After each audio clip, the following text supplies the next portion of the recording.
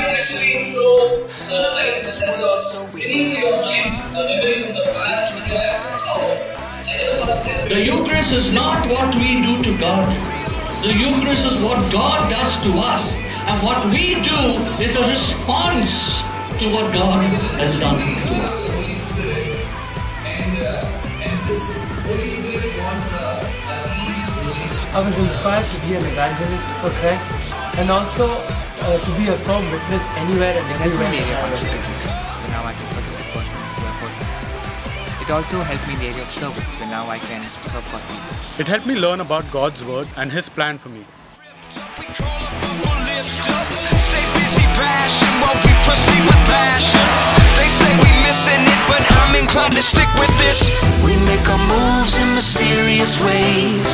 We'd rather burn out than stick to the shade. This world, so we live on the run. We got our hearts set on what is to come.